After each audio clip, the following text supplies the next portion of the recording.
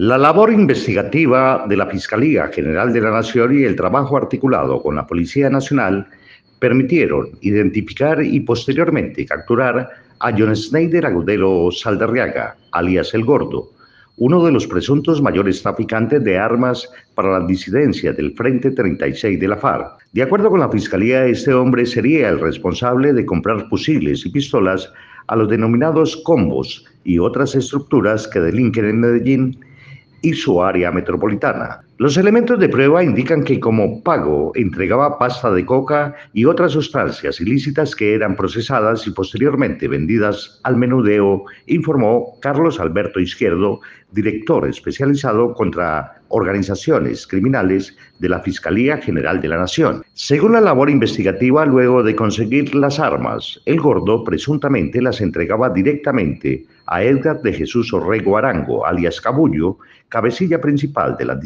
del Frente 36 de la FARC, las cuales tienen injerencia en Briseño, Ituango, Yarumal, Angosturas, Campamento, Guadalupe, Amalfe y Anorí, municipios de Antioquia. La Fiscalía General de la Nación, en articulación con la Policía Nacional, identificó a John Snyder Agudero Saldarriaga, Alex el Gordo, uno de los presuntos mayores traficantes de armas para las disidencias del Frente 36 de las FARC.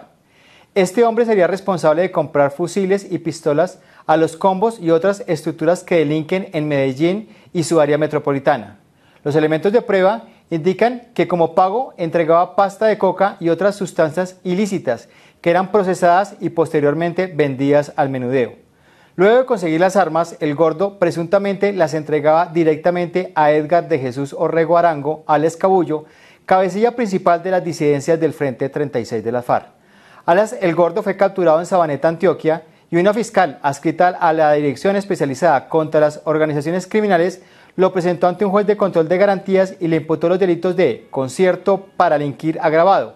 financiación al terrorismo, fabricación, tráfico, porte de armas de fuego, municiones de uso personal y fabricación, tráfico y porte de armas, municiones de uso restringido o uso privativo de las Fuerzas Armadas o explosivos.